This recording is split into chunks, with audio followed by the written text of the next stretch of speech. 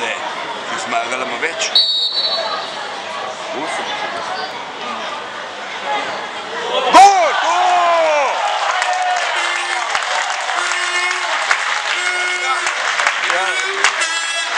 Kad te rekao? Ej, Marko, da je po mene.